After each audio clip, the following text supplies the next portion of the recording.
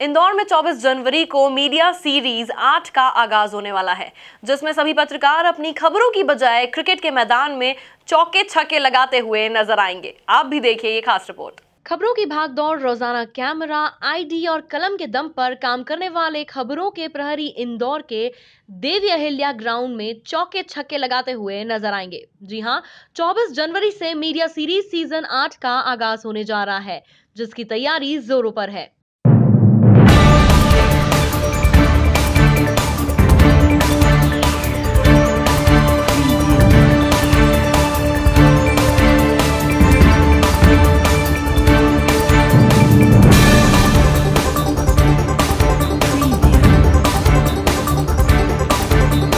Indore media जगत की 16 टीमें इस सीरीज़ में हिस्सा लेंगी।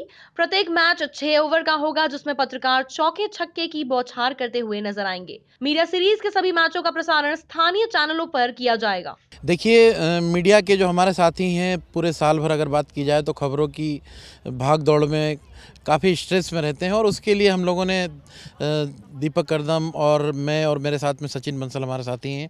हम लोग बैठे थे एक बार खबरों के बीच में ही। तो क्यों ना ऐसी इवेंट की जाए जिसके माध्यम से कम से कम जो मीडिया के हमारे साथी हैं, स्ट्रेस में रहते हैं, कुछ इन्जॉय करें।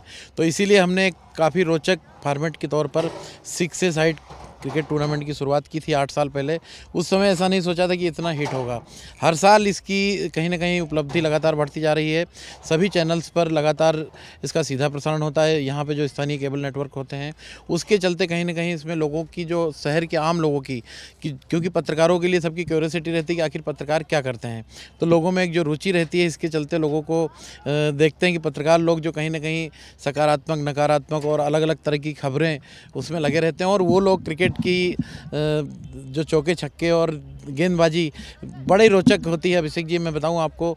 इवेंट के संरक्षक, वरिष्ठ पत्रकार सुदेश तिवारी और आयोजक दीपक करदम, कोषाध्यक्ष इंदौर प्रेस क्लब के प्रयासों से खबरों की दुनिया में साल भर खोए रहने वाले पत्रकारों को तनाव से दूर रखने के लिए क्रिकेट की प्रतिस्पर्धा आयोजित की जाती है।